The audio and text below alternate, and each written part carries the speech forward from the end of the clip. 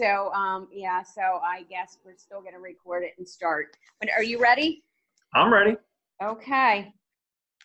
Good afternoon. I'm Sheri Thompson, the editor of the Pennsylvania Administrator, and I just want to thank everybody uh, who joined us today, uh, the authors and the attendees, um, to join for joining us for the live webinar, uh, Ask the Author.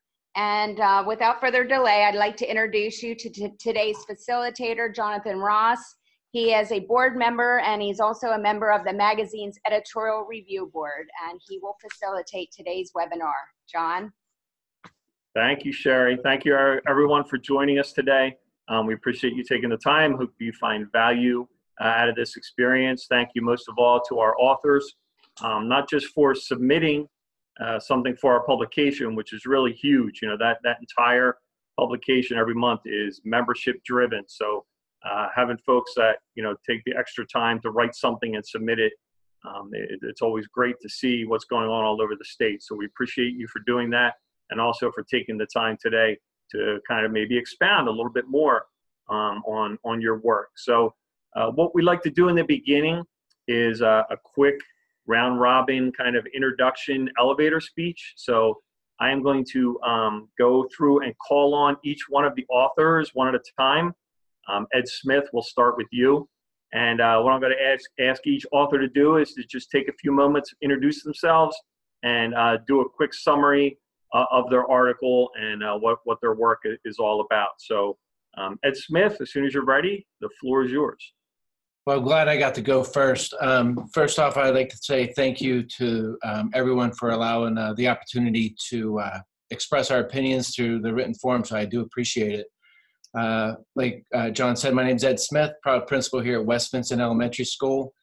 Um, a Blue Ribbon Award winner, I might, I might tell you. We just got that last week, so that's always good news. Um, so this is my eighth year in Owen J. Roberts School District, and uh, very happy to say that uh, the one of the things that uh, sparked this was the word connected connectivity and connectedness to um, our students. And so uh, everyone does something with either SEL or building relationships. And so we, we didn't take a unique approach, but something that's been uh, done before, and that's uh, creating mentor groups. And so every single staff member in a building is connected with uh, eight to 10 students, and we keep them throughout their time at West Vincent. We're a K to six building. Um, currently this year, I, I, graduated up to second grade, so I have uh, 10 second graders still. Uh, they did run me over last year as first graders. Um, but at the end of the day, it's about building relationships, maintaining relationships, and uh, give our students an opportunity to have a connection beyond their teacher, or counselor. Um, so it's a unique setup for us. And each month we kind of concentrate on something coming up. Uh, next month is gratitude and talking about what gratitude means and how it, it, it can uh, be part of our daily lives. Um, so at the end of the day, um, I, I'm, I'm pleased with the, this is our third year doing it. Um, our my counselor, Mrs. Sarah Weber, is instrumental in leading it, and uh, everyone has ownership in it, and everyone has ownership in every single all 585 students that are in the building. Um, and as a result, we have been able to see a decrease in the number of visits to our nurses suite. Uh, uh, absenteeism and has uh, decreased as well. Students reporting bullying has decreased. Um, so it's been uh, widely received throughout the community. Um, so that's my uh, elevator pitch, and uh, good luck to everybody else. Thank you. Perfect. Thank you very much. Um, next, we're going to go to the other side of the Commonwealth. We'll go out to Pine Richland, um, and I believe Kristen Justice is with us, uh, along with. Oh yeah, you've got someone else there as well. Okay, so uh, I believe that's uh, your superintendent, Dr. Miller, and Kristen Justice. You want to take a few minutes and uh, introduce yourselves and tell us about uh, your article. Certainly. So I'm uh, Kristen Justice, the Assistant Superintendent for Elementary Education and Curriculum here in Pine School District. And as you mentioned, Dr. Brian Miller, our superintendent, is joining us here. Uh, we, again, responding to the connectedness prop, um, saw our story of resiliency at Hance Elementary School as something that would be um, a good story to highlight in terms of our community coming together. We had um, parents, staff, um, working hand in hand with our facilities department, et cetera, when we were faced with the challenge of finding a discolored tile, which led to a need for mold remediation 16 hours before the opening of school um, in the 2018-2019 school year. So it essentially um, culminated with us constructing a school within a school um, at our Eden Hall Upper Elementary building, a 4-6 building. We relocated um, all of the classrooms, um, the materials that would be necessary for the students to learn, and even put finishing touches on, such as um, posters from the older kids with individual student names on it, as well as name tags on the desks, recreated lockers, had pipe and drape um, sorts of classrooms set up in untraditional spaces, um, and really were able to overcome that challenge and deliver on our mission, which is the focus on learning for every student every day. So, um, despite the challenge, it actually brought the community closer together and it enhanced our connectedness. And we believe that has a lot to do with the ethics and the transparency with which we addressed the situation and in how we reported the results. Um, and as we will get into the discussion points later, it actually helped us um, continuously improve by looking at a uh, monitoring kind of schedule for our facilities for air quality, water quality, et cetera, kind of led into some other work that we had ongoing in the district. That's great. Thank you very much. Mhm. Um, we'll stay maybe out on the west part. Uh, Zeb, Zeb Jan- Jancente, a fellow board member uh, with me on the PA Principals Association, um, who uh, published something in, in our spring issue. So, Zeb, why don't you go ahead and tell everybody uh, what your article was all about? Sure. Thank you, Jonathan. I appreciate the opportunity. Uh, the article that I've uh, been involved with is really um, about what's going to be taking place with uh, with teachers, the uh, teaching staff in a lot of districts, and the the, the, the shortage that we'll be faced with uh, in the near future. Uh, many of the folks who came in the wave through hiring process through the Mello bill um, is is going to hit in just a couple years. So there's going to be a, a, large shortage of teachers, uh, and also uh, the the data and trends that we're looking at uh, talks about a 38 percent uh, fewer teachers going into the profession from just a small time frame of six years, from 2000 to 2016, and then on top of that, a 58 percent uh, decline in um, in teachers being certificated uh, into the profession. But more so, the importance of having a balance of teachers in your school. New teachers bring that innovative piece. Uh, they bring uh, the new practices on board. They help to stimulate that school. Uh, and there's a, a, lot of research that shows that, you know, whether, um, you know, uh, veteran teachers uh, choose or not, uh, there's, there's a phenomenon called, um, you know, they're going to be become stagnant. So we need the new teachers and uh, the teachers partway through the profession to energize and keep those keep that school you know the, on the cutting edge but really provide the type of education that students will need when they approach the 21st century uh, experience. Um, once again i'm on the board i've been on the board since 1998 um, i've been in the principals association as a member since 1991 and I'm probably one of the longest tenured uh, high school principals in the state, if not the longest. This is my 29th year as a uh, as a high school principal. So um, that little bit of experience I bring to the table uh, helped to prompt me to write the concern about where are we going with public ed or e- even cyber, any of the schools out there that are going to be faced with teacher shortages in the near future. Thank you. Nice job, Zeb. I'm, I'm not sure how you can have that many years and yet look younger than me, but uh, we'll have to figure that out sometime. it's just uh, it's nine all, years, buddy. It's all in the camera work, John. Thank you. all right, great. Thanks, Zeb. All right, uh, let's go to another uh, team, uh, Dr. Weidlich and Mr. Orth, um, who are on the eastern side of the state here in Chester County um, and they're going to take a moment to uh, describe for us uh, the article that you guys submitted for the spring issue, please.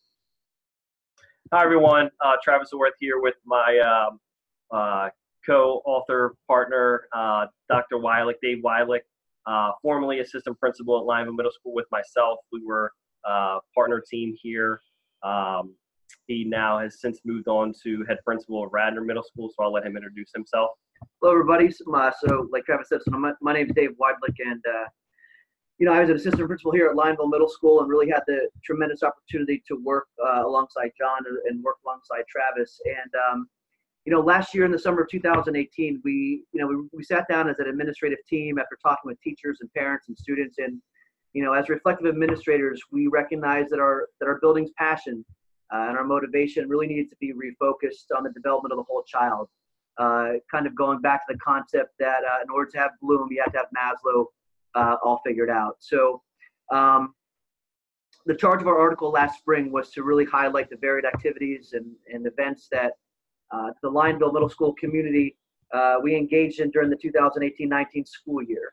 Um, all of our activities were grounded in the importance of building and sustaining authentic relationships uh, with all of our students. And um, ultimately, uh, what we wanted to ensure was that every student who walks through our doors, uh, that they knew that they were valued, uh, that they are cared for, and they were truly heard on a daily basis. And most specifically, you know, that every child has a champion. And, um, you know, some of the things that we saw, you know, we're hoping, you know, we're connecting the activities through uh, to some things that we noticed. Uh, we had discipline decrease. Our student population uh, remained pretty status quo, and our discipline numbers decreased in terms of feelings, the sense of belonging, and talking with kids, you know, throughout the year. Uh, that sense of belonging in comparison to years past increase, and ultimately the overall feel of the building, warm, safe, supportive. that was also very positive, and that just didn't come from kids. That came from uh, that came from teachers, that came from parents, and so um, I know that there's a big push right now, and not a big push, but it's uh, there's a lot with social emotional learning, and um, and you know as administrators, there's a lot that we can do, and we are just happy to share what we were able to do last year. And uh, I since have left, but I know that these guys are, are doing a real bang up job continuing these uh, these types of initiatives and, and even moving uh, you know forward uh, with more. So when you when you uh, sit down and take a look at the the article, what we did was we kind of broke down every piece of what we do in the building, and when we uh, when we looked at it, we we realized how much we actually do. Um, uh, and I'm sure all of you can say the same about your buildings as well. So if you sit down and kind of make a list of things that you do throughout the year that make uh, that makes connections with kids and really not only just you as, a, as an administrator connecting with kids, but really pushing that on to the teachers. Um, because you know in, in our setting we, we, we get test scores we perform but we really want to get deeper and make connection with kids and make sure that they're comfortable in our setting so uh, i charge you guys to all sit down and make a list of all the things that you do because you you uh, we need to applaud you as well for for all the great things you do in regards to making connection with with uh, with your students all right, nice work, gentlemen. Um, just in interest of full disclosure, yes, Dave and Travis uh, were my assistant principals last year. I abstained when their article was submitted, so their article got published uh, without my influence. I did uh, uh, step out of that, but it, they did make a great point, and that is when uh, you go through this process, and I think the other authors might agree, when you go through this process of writing about what you do, um, you know, I think far too often we hesitate to brag about the things that we do.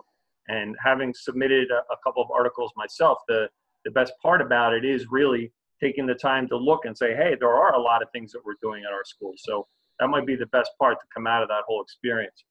Um, so thank you, gentlemen. Uh, we're going to go to Tom Kramer next. Um, Tom, if you could just take a minute or two to tell us a little bit um, about your article, please. Sure. Um, thank you for having us. Um, I wrote our article with our Director of Communications, Shannon Zimmerman.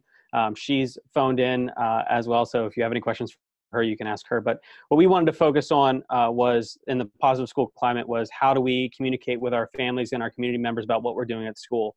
Um, we work so hard uh, to create a positive environment at school, and we're doing so many great things. Sometimes we don't market ourselves well enough so that the community members and family members know exactly what's happening in our buildings. A lot of people have perceptions about what school looks like because of when they came and what they did, uh, but school is vastly different from when a lot of our kids' parents uh, attended school.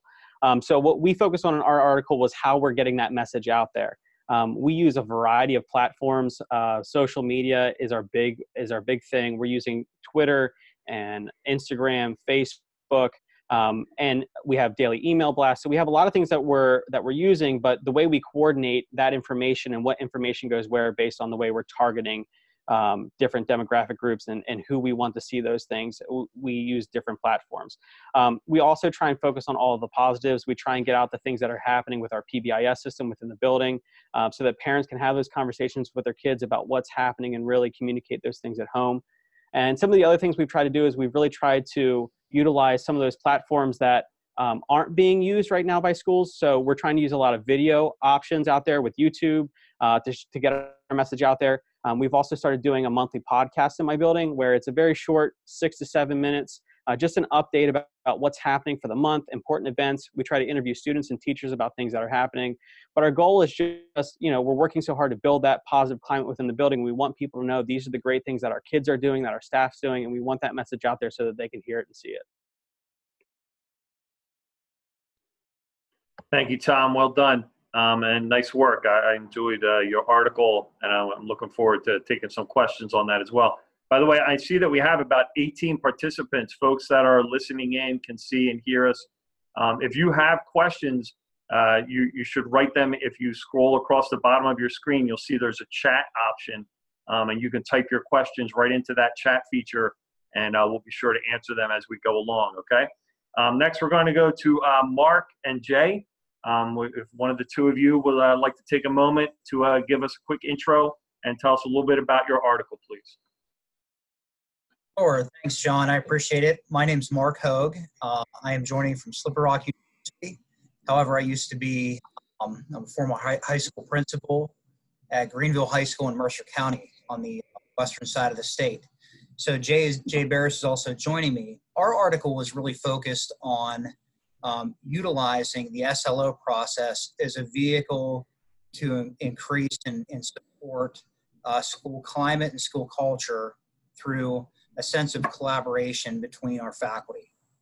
In our school, it seems like we're usually hitting the subtraction button related to losing staff through attrition, our enrollment struggles, and, and very frankly, a few years ago, our academics were, were, were struggling as a result of just I think a lot of people working hard, but in their own silos, in their own departments, etc. Um, so one of the things that we looked at is really trying to utilize the vehicle of the SLO as a conversation piece and a tool to allow uh, faculty members to work as peer supporters through an action research project, not just an assignment or an expectation that's done annually with the SLO, but really a critical look at our curriculum, at student achievement data, support subjects uh, through the humanities and different elective subjects to really try to, again, bolster and support all the work that we're trying to, to contribute and grow related to our tested subjects. And I, have got to tell you very directly, congratulations on your National Blue Ribbon School Award. Uh, we were really excited that in 2017 we were named a National Blue Ribbon School. That's something that, again, for a community that struggles, that has um, some significant uh, barriers to success. It was something that, again, we could celebrate a lot. And again, the SLO process we looked at, again, previously as just one of the many things that we have to do as a staff, as a faculty, as a building, and really, again, trying to break, embrace a common vision of scholarly work around our staff and working as peer supporters was something that uh, really provoked good conversations about curriculum needs, and best practices and instruction. So thank you very much. Thank you. Uh, appreciate it, Mark and Jay. Um, just real quick, uh, looking at the comments, uh, Susan, uh, one of the people who's joined us, we can see your comments. We can only see and hear the people that are panelists. So if you're viewing this just as a not as one of the authors, um, again, you can make comments, but we cannot see or hear you. Uh, so please keep that in mind. All right, and then our last uh, set of authors that we have joining us, Michael Snopkowski from uh, Avon Grove. Um, Mike, I hope, I hope I said your last name correctly. Uh, why don't you take a moment, if you could, please, to uh, tell us ab- about your work. Sure. So I'm here today with Scott DeShong, who is our high school building principal.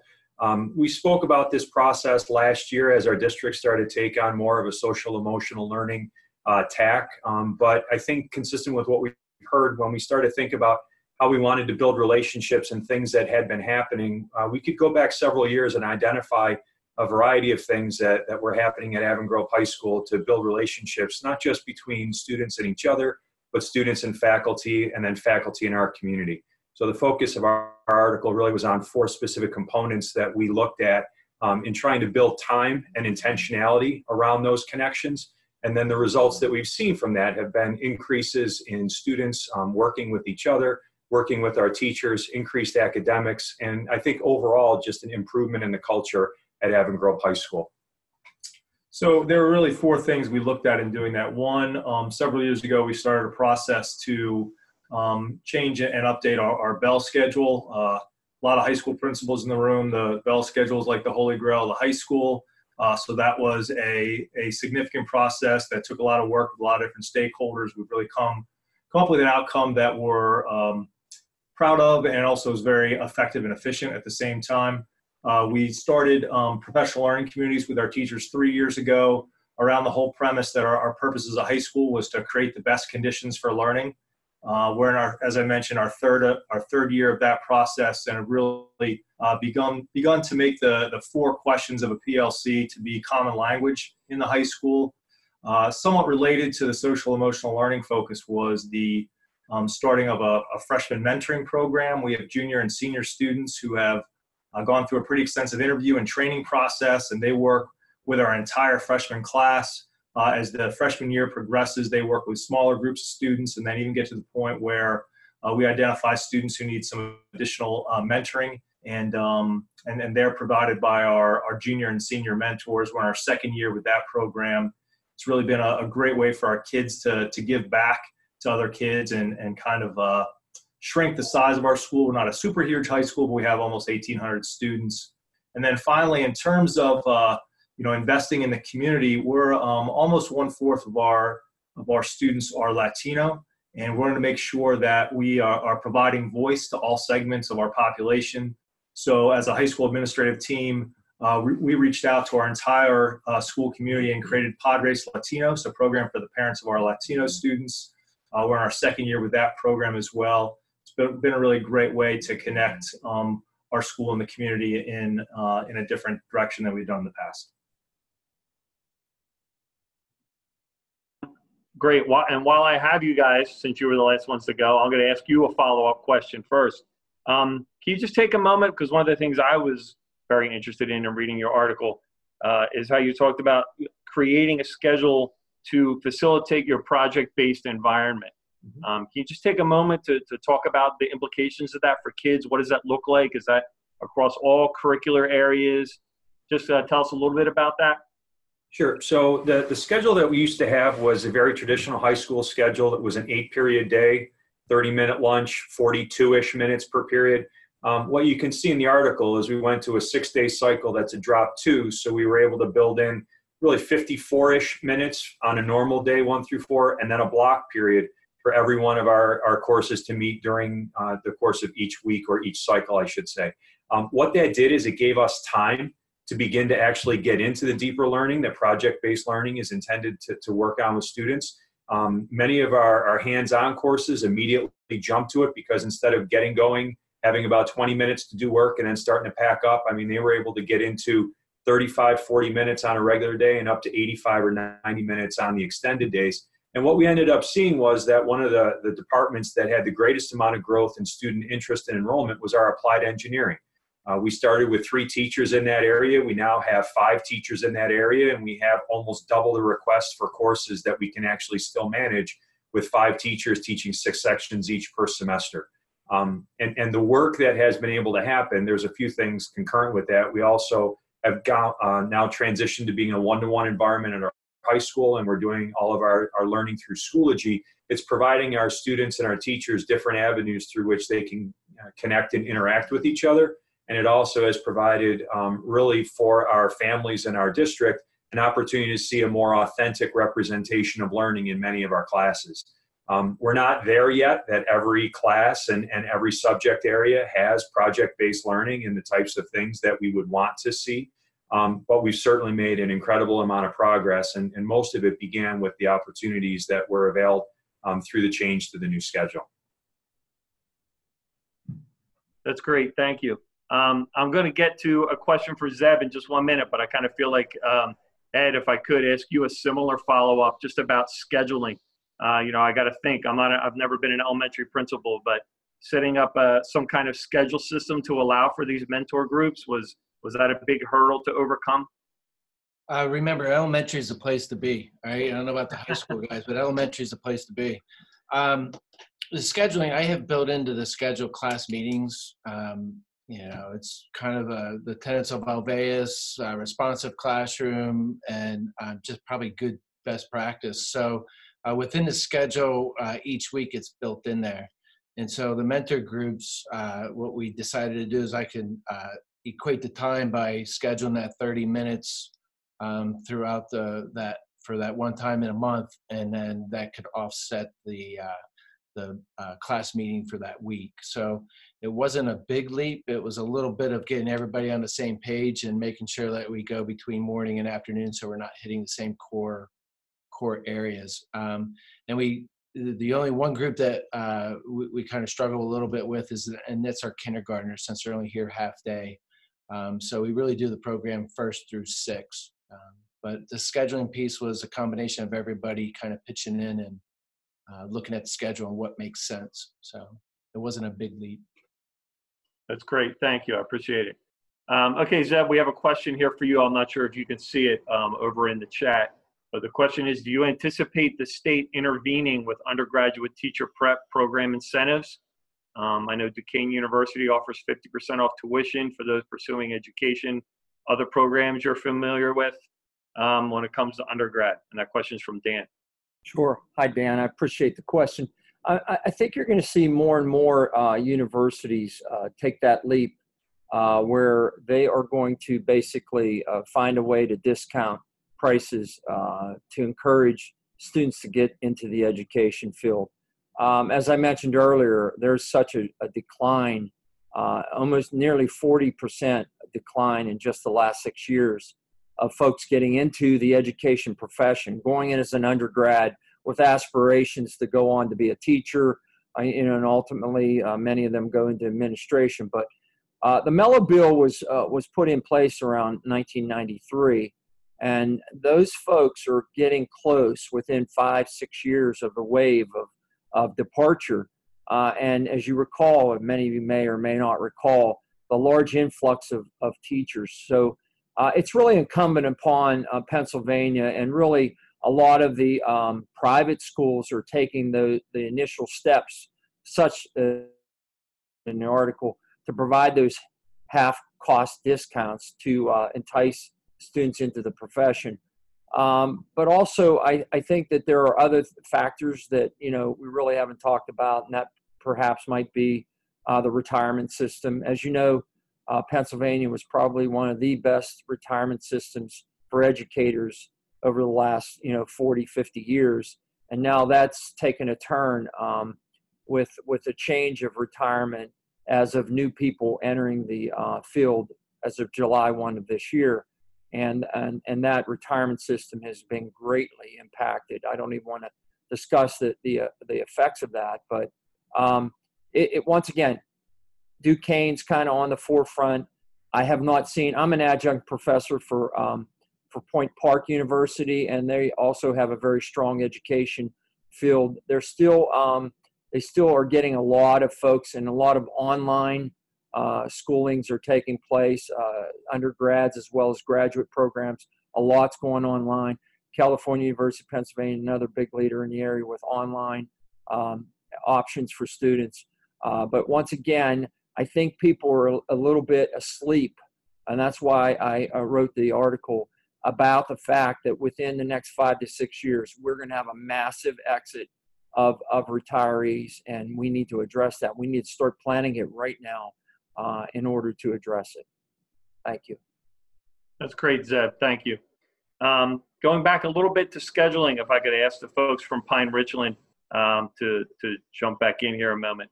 Uh, thinking about the notion of taking an entire school and relocating that school to a new place. And you talked a little bit about in, in your article about the, you know, the physical layout.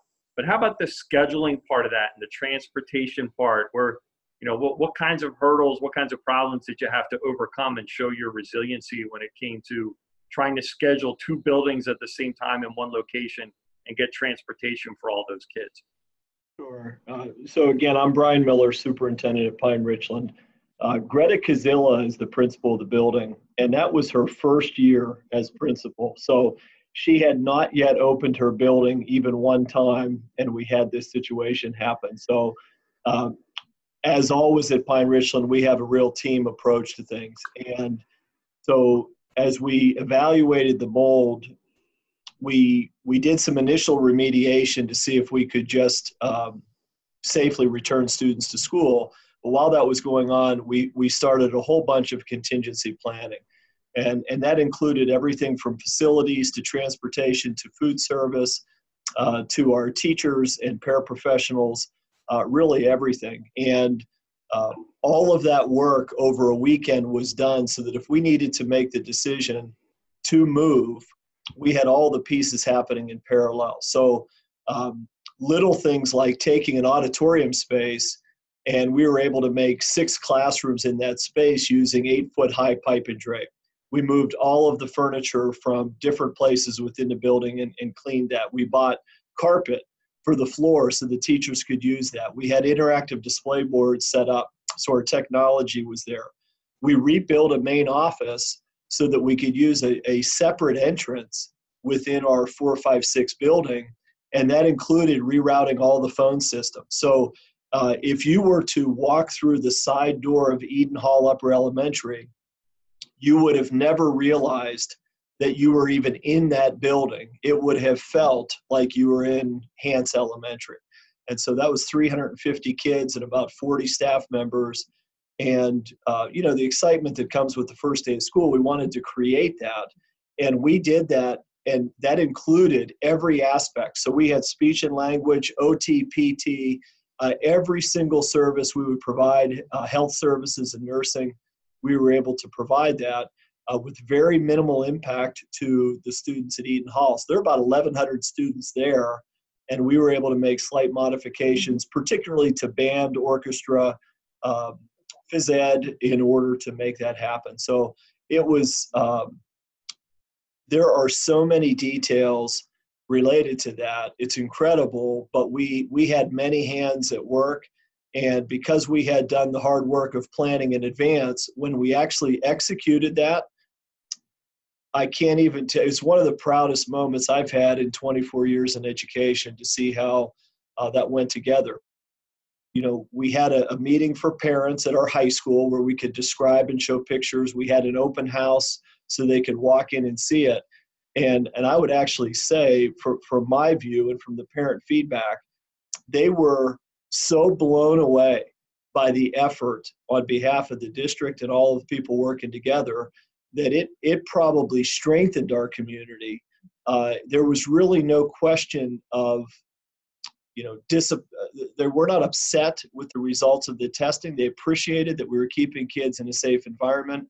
And when they saw the hard work and all the attention to detail, uh, it really strengthened our culture and it gave Greta Kazilla uh, a remarkable first year principal story uh, that she can tell for the rest of her life. So, really, uh, um, having the right people in the room, including all those different specialties, is mm-hmm. really what made it happen.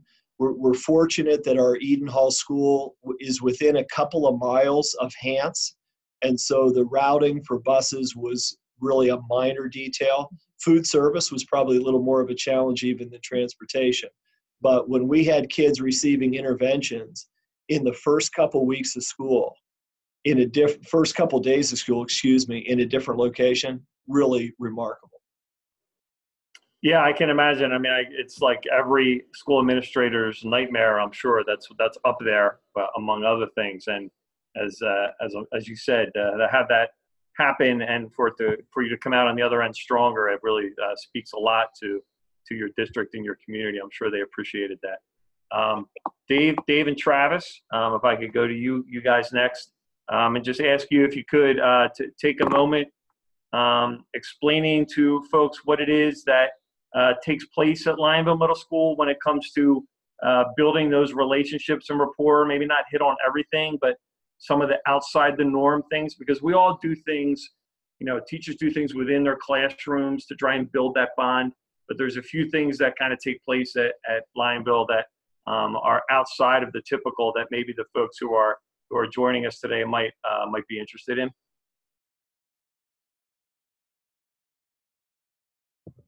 Sure. So one, of the one of the big things that we pride ourselves on is um, greeting the kids each day.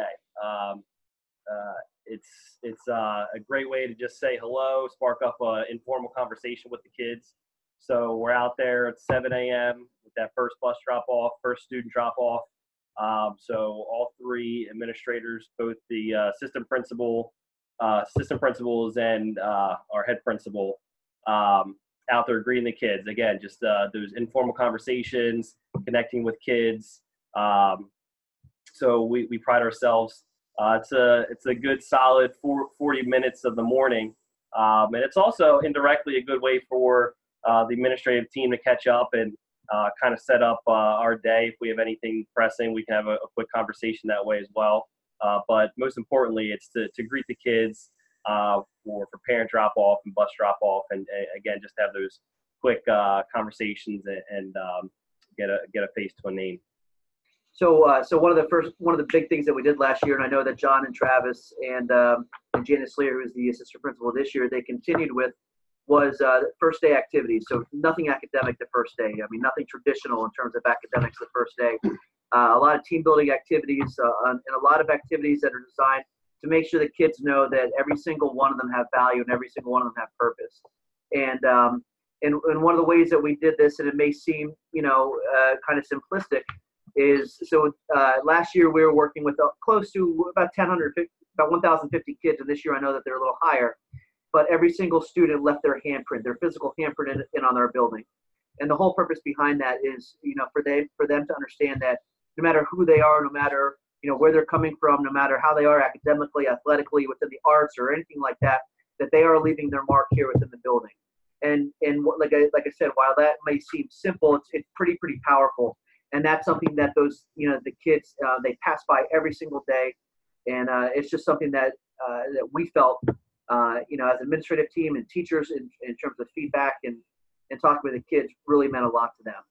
Um, something else that we that uh, we kind of delved very deeply into last year is kids need to be part of the equation in terms of learning, and they just can't be uh, just sitting back and just receiving it. They should have an active voice. So uh, one of the big things our professional development push was was integrating student feedback. Um, you know, as administrators, we're giving teachers feedback. As administrators, we're getting feedback, um, you know, from from our superiors, and uh, you know, kids are getting feedback. Um, but the actual people who are who are there taking in the learning, oftentimes their voices may not be uh, asked for.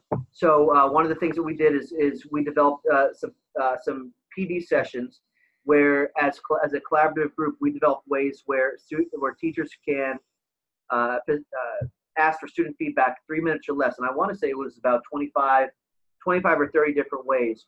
And, you know, ranging from, uh, you know, one-on-one meetings with kids, from whole group meetings to different types of, of, uh, of, uh, of electronic or um, digital feedback. And uh, we just wanted to make sure that kids know that their voice was heard and uh, that they do have an active part in their education. So, uh, one last thing that's uh, a pretty cool activity that um, actually went on before I got here. This is my second year in the building. Uh, is a, uh, a get to know you or I know you dot activity um, where uh, we print off all the student photos um, of the entire student body and hang them up in the library. Um, and we give the staff uh, dots, um, little uh, stickers.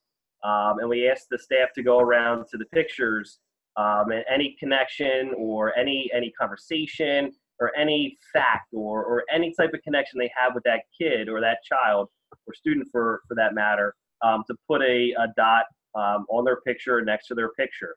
so this gives us a good indicator of obviously your outgoing kids are going to have tons of dots because they're they're advocates for themselves and they they reach out they make connections naturally and that's that's easy uh, for us um, and we all get that. But I think um, the the big uh, the big takeaway from this is um, the the kids that fall through the cracks the kids that don't really um, speak up in class. They kind of do do what they need to do throughout the day. They get by um, they're not really on the counselor's radar. They're really not on your radar. Um, uh, it, it, really pulls out those kids that um, are right in the middle, and, and it really highlights um, making connections with every single kid in the building. Um, so that's a, a, pretty cool activity that we do. Um, it's, it's, nice to do it twice a year in, in, the fall and then again in the spring uh, throughout the, the year with your staff. Good. Thank you, gentlemen. Um, before I go, I was going to go to uh, Mark and Jay. Just one moment, Mark and Jay, if I can put you on hold there. Um, Lisa, one of, another one of our authors, uh, Lisa Schoenleber. Lisa, hopefully I said your name correctly. Um, Lisa just joined in, and uh, Lisa, if you're there, I wanted to give you a moment to introduce yourself and uh, tell the folks that are, are watching, um, you know, 60, 90 second quick conversation about uh, what your article was about. If you could tell everybody, please. Lisa. Positive connections for incoming freshmen and their families uh, for the class of 2022, which is the class that I picked up as ninth graders, and I'll carry them through to 12th grade. Um, we kind of did that through two main uh, ways freshman orientation, and then also um, through um, a Trojan ticket, like a kind of a mini PBIS program. So there's my 30 seconds. Yeah, that was quick. That was really quick. All right, we'll come back to you though, just so you can get your feet wet with your first question. We'll come back to you though with a follow up. Again, folks that are watching this, uh, you can ask questions if you use the chat feature that's at the bottom of your screen. Uh, you can submit questions. But I did want to um, go to Mark and Jay next. You know, when I read uh, your article, gentlemen, and, and your uh, briefing that you sent me, uh, SLO and school culture they're they're not necessarily things that I would put side by side with one another. So uh, my question for you is, you know, how did you get to that point? How did you uh, what made you decide to marry your SLO with school culture? Was it out of necessity? Was it a directive? And then maybe a follow up. Um, you know, how did that go over with the teachers? Did did they respond well to that? Yeah. So for for me, I mean, it's uh, very much a, a not out of necessity, but just very natural in that we were focusing on trying to improve our overall school climate and culture. Uh, but at the same time, uh, we have a lot of new teachers that were coming in. Um, and we had an extra time with them per the contract that, that, you know, we have extra 10 days, basically, some on the front end, some on the back end of that school year. Um, so we had this unique opportunity to take it a step further. Um, and through, you know, discussions with, with Dr. Hogue, you know, I'd found that, you know, similar things were occurring at, at Greenville School District as well. Um, so it was really a, you know, a beautiful partnership through um, working together prior and then also having similar experiences that led to um, you know, kind of this article uh, collaboratively being developed. And, um, you know, we're actually uh, going to take it a step further as well. Um, this coming uh, October, Lead 19 will be presenting on, on, on this topic as well. Um, you know, I'll certainly allow uh, Mark to contribute and, and, chime in here, but um, I think it was more, um, you know, at least for you know the middle school at the time uh, at PA Cyber, it was more natural just to to have this kind of be hand in hand with the SLO process, um, collaboration amongst teachers, especially given um, you know we have sixth grade, seventh grade, eighth grade teachers at the middle school. It makes it a little bit easier. Um, certainly, uh, when most of our teachers are teaching one subject area as well. So. John, thank you very much. And Jay, certainly to, to build off of what you shared. You know, high school teachers, middle school teachers, elementary school teachers, we're competitive. And I've got to tell you something. When you look at your school results and they stink, um, that provokes a pretty strong emotion. And I think at least at the at the earlier stages of this project, as we date back and look at our work, um, there was a lot of lot of folks in, in my particular building that were working very hard and didn't feel like they were necessarily seeing those gains and those rewards when it came time for state testing and and what ultimately at the time uh, comprised the school performance profile. So very directly, um, some of the work products that we observed at the at the high school related to the SLOs, I got to tell you, they were pet projects. They certainly had a pre-test and a post-test, and the form was filled out again, like I said, maybe in my elevator speech. but there really wasn't this sense of focus on some core goals curricularly and within the, the core subject areas that tied us together. So to look at to look at a necessary expectation um, in the SLO process and to say we are going to yoke ourselves and band together and focus on the same things collectively within our own content areas and disciplines and grade levels in a strategic way instead of just kind of doing our own thing, our own silo. It, it was something that, again, really fostered a sense of collegiality. Folks were talking about what they were doing in class. And forgive me, may, maybe that should have been something that, that was more apparent um, prior to this initiative. And I know that it's not necessarily groundbreaking, but it was something where we realized a very definitive level of success in something as simple as, like you said, John, the SLO. And that's a that's a great point, um, I, I think, Mark. And one of the things I think we too often as educators do is we belittle ourselves. We think of these things, these ideas that we come up with, and we don't think that there's anything new or unique or special about them. And to take something that, again, as you say, admittedly, an SLO is kind of a simple, everyone does it, and to kind of turn it on its ear like that, I think that was kind of the point I was trying to make is it's not you know you're not going through the motions i guess and, and i guess that's kind of why um, you got the outcome that you did you would say. Yeah. Thanks john.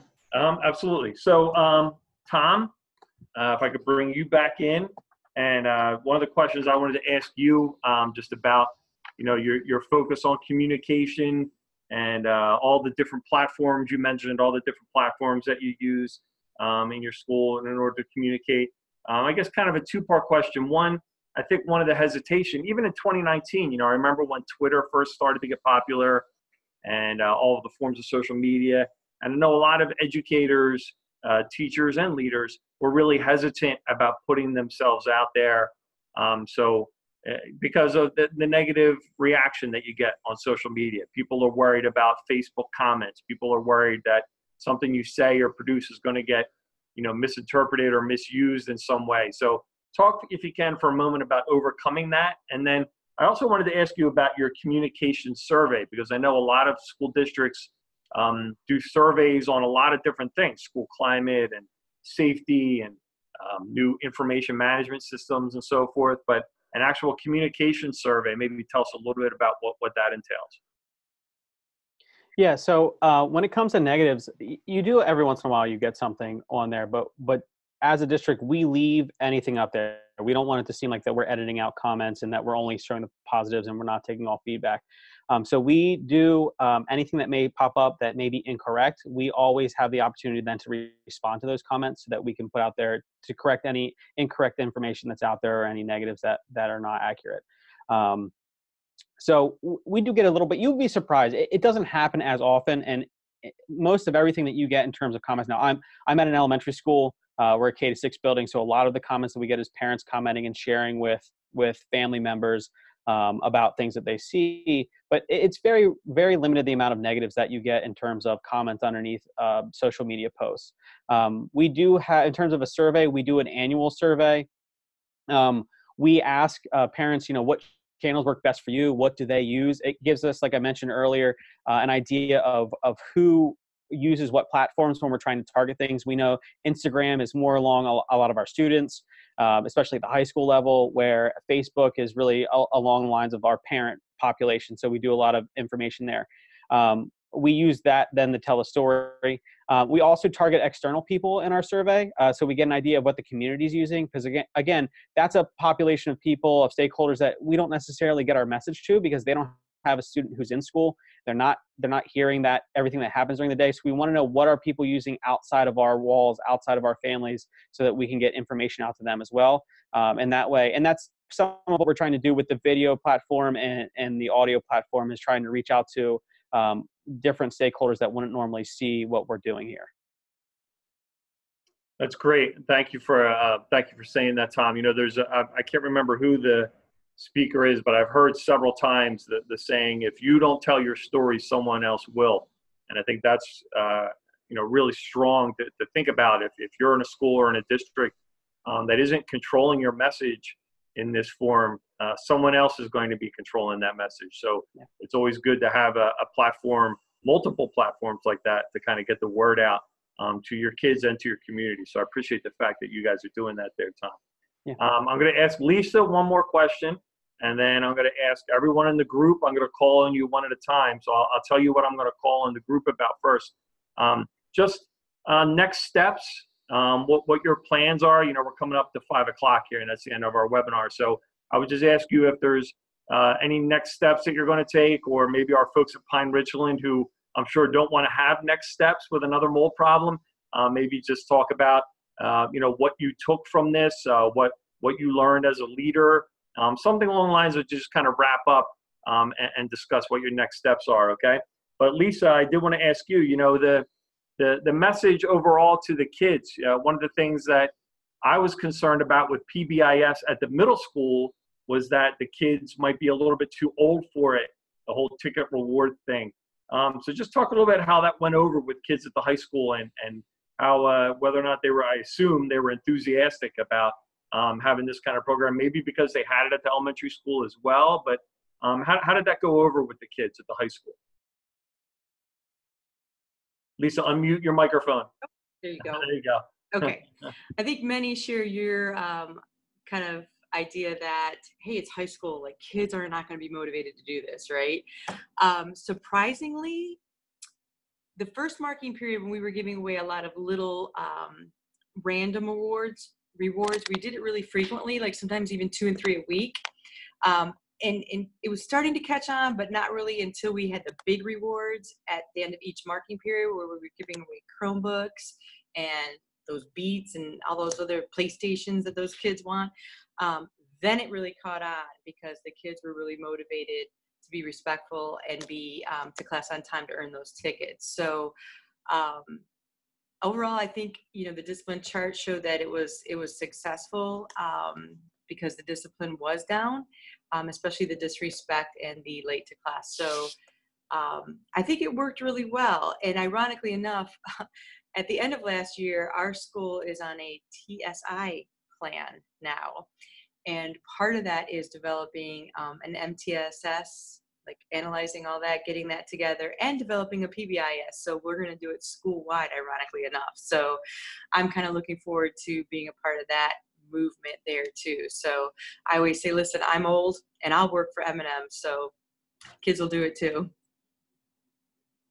Thank you. That's great, Lisa. Okay, so we have about, I think, in my count, eight authors, maybe eight different folks joining us here. And we got about eight minutes left in the webinar. So if I could give each one of you 60 seconds, as I said, some kind of closing comment, next steps, one major point that you want to make sure um, any of our viewers get. Uh, Zeb, I'm going to start with you. Um, just, uh, you know, anything you want to follow up with or any other points you want to make about anything that was said during our webinar today. Go ahead, Zeb. Sure. Thanks, Jonathan. Uh, just the last thing that I would uh, would say about uh, teacher shortage concern, but really the importance. I want to focus again on the importance of having new teachers in your school system. It's very very important. A lot of a lot of districts across the Commonwealth are focusing in on balancing the budget at at uh, at the student teacher ratio expense. So uh, we need advocacy uh, that that our educators are going into the profession and that they are uh, they're going to be equipped to uh, leading our students in the future. It's our future. Nothing more important than than having teachers on board and obviously being able to educate the youth of America. Thank you. Great, thanks, Zev. Great point. Um, Ed, Ed Smith, uh, any next steps or follow up or any final comments you'd like to make? Uh, first off, I'd like to thank you, John, and the association for putting this on. Um, I've been fascinated listening to everybody's story. Uh, the thing that I take from it, and our next step and the big uh, takeaway is relationships. We we all know that they're key to success. So, uh, maintaining and forming those relationships with all of our stakeholders, especially the students, um, can create our own mini stories and success. And so, for us here at West Vincent, uh, it's to maintain our momentum with with the mentor program and communicating the why. Why is it important? Why are relationships important? And to kind of nurture that uh, with with each of our uh, stakeholders, like I said. Uh, so once again, I appreciate it, and look forward to many more of these. So thank you for everybody and your insights. Thank you, Ed, and again, congratulations on your uh, on your blue ribbon. That's a, that's a great accomplishment. So uh, good for you. Um, let's see, um, Michael and Scott uh, out in Avon Uh, any, anything you'd like to say to wrap up as far as your next steps or plans for the future? Sure. So our next steps are really to continue deepening the practices and processes.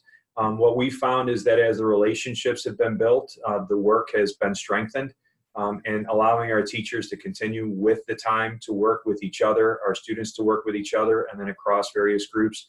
Um, we're finding that more and more momentum and ownership is being taken by the individual groups. And um, it's, it's really our responsibilities as administrators to make sure that we provide the conditions for the people to continue to get together and to encourage that, that behavior um, because they're really the ones who are doing the heaviest lifting right now. Go Crickets. So, and, and one other thing, you had mentioned uh, the, the, the concept of if someone doesn't tell our story, we'll, or we don't tell our story, someone else. I think that's Joe Sanfelippo. That's um, right. There's an awful lot online. Say go Crickets. So, yeah, that was his Go yeah. Crickets message. Go Crickets. Thank you. Yeah. Uh, I, you know, the, the, head, the names are the first things to go when you, when you get to my age. So, uh, let's see, uh, Dave and Travis, any, uh, any last comments you want to make or things about next steps, comments you want to make? Sure. I think um, one of the big things that um, you know I tell myself every day is to to uh, continue to uh, push that narrative of relationships first. Um, get to know the kids. Uh, that first month or two, I know I sit down and and um, you know a conversation with the administrative team here. Uh, if there's no instruction going on and you just use that time for the relationship building, uh, the rest of your year um, rest of the the students here is going to be that much more successful. Um, if you lose them that first week or two, um, you're you're fighting an uphill battle the rest of the year, rest of those uh, the next two years. Um, so I, I, really think that's the that's the the foundation, the core of what um, what we need to focus on, and I know that's what my main goal is each and every day when I walk into the building. Um, you know, no matter what, if if I'm walking down the hallway and I see a kid talk to them, say hi, make that connection. Um, I hate it when I see a, a, a teacher walk by, a, a, student doesn't happen often, but um, it, it, does happen, and there's no there's no interaction there. So I think just uh, grounding myself every single morning before I get started of uh, that that's my main focus for, for the day, and everything branches off from from there. So, it, like in terms of next steps for me, so uh, so this past year I just transitioned from uh, from an assistant principal here at Lionville Middle School, where we really delved into this whole concept of relationship building through uh, through school-based activities. And I uh, became the principal of Radnor Middle School in Radnor Township. And uh, so I came to that building with the same focus. You know, I had that the momentum started here, and I was very passionate and excited to continue a lot of activities that, that we uh, that we did here, and started to implement them uh, with some tweaking, of course, uh, at Radnor Middle School. So my next steps is just to uh, go into the building and do whatever I can to build relationships with kids and staff. And uh, just remember that, you know, why we're there every single day, and that's going to be kids. So great. Thank you, gentlemen. Uh, let's go back to Pine Richland, Kristen and Brian. Um, like I said, I, am not sure you would want. I'm sure you wouldn't want to go through that again. So I don't think you would have next steps. But um, any any departing message that you have for the folks that are watching right now about what you went through? Certainly. So while we hope not to go through it again, we are actively doing preventative testing to make sure that we're out ahead of anything that could, because what we don't want to repeat is that timeline if it were to occur um, and it's a part of life, but we want to make sure that we have healthy, safe schools. We are changing to a model here where we're cleaning for health, not appearance, and really making sure that we're out ahead of anything that could occur. But really, the communications were the most vital component of this, and making sure that while it's a difficult message to share with families, not only conducting the testing and letting them know what's happening, but physically posting the test results that came directly from the third party vendor on our website so that there's no mystery around what has occurred. And that's both um, the tests that were conducted when we initially discovered something, as well as the post test once we've um, finished remediation, again, helps really build the trust. So we would encourage others to, to do that as well. Thanks for the opportunity. We mm-hmm. appreciate Thank this. you. Yeah, and I can only imagine, Brian, what that phone call was like that you had to make to your school board president when uh, when you got that information that you were going to have to uh, to make these adjustments the day before school started. You know what? We are very blessed here, and um, people would not believe it when I tell you how much support we have. So I spent next to zero minutes with the board, it was all about how do we support the kids. It's pretty awesome when that happens. It is awesome. That's great to hear. Uh, thank you and good luck. Um, let's go next to uh, Tom in Hempfield. Um, any next steps, Tom, that uh, that you want to share with everybody, or any parting message? Sure. I, I, mean, everything for us in terms of next steps, it really revolves around our comprehensive plan. Um, our our third goal area is community engagement. It's a lot of what we're trying to do with all of this messaging going out. Um, we're going to continue to try and expand our reach. To look at more live video things for parents that can't get to things during the day. So PTO meetings, events, even sporting events, things that families might not be able to get to because of other commitments that they have going on. Um, so we're, we're going to try and expand to get a lot of that in. Um, and I'm also just going to plug if you're at the PSBA Leadership Conference in October in Hershey, we're running a session there um, that'll go more in depth in all this. So if you'd like to attend, I'll put that plug out there too. That's good. Good move. Always put a plug in for when you're doing presentations. Good, good move. Um, okay, let's go. Mark and Jay. Um, either one of you or both of you uh, want to share your next steps? Yeah, I'll be really quick. Uh, we're looking forward, as Jay said, to attending Lead 19 and presenting. Uh, one of the things that I'll be happy to get any feedback on, and we want to do a better job with, is really putting putting the good work of our teachers out there in terms of uh, sharing the results of students, or I'm sorry, of student achievement through the SLO process, and really trying to empower whether it's young teachers, as Zeb's talked about, or teachers in other districts to maybe lessen the learning curve a little bit and promote, promote again, good conversations around powerful learning and, and really being focused on results. So John, you did a great job. Thanks so much for hosting and emceeing and uh, wish you all just a great, a great rest of your week. I don't know if Jay was going to jump in or not. Um, yeah, thank you, John. Go ahead, Jay. Real quick, one of the things we're looking forward to in, in a and uh, at our school and extending um, this learning and this uh, recognition process is we're we're going to be implementing the best practices of teaching and learning for our teachers and really recognizing those that are going above and beyond. Um, so taking it to that next level now, um, not only you know listening to the presentation and and you know giving that you know feedback to the teachers through the process, but then also, you know, formally recognizing some of our best teachers as well. Um, and, and, just to follow up uh, what Mark said, thank you very much, John, for putting this on. And, and all, as always, you do a fantastic job for the association.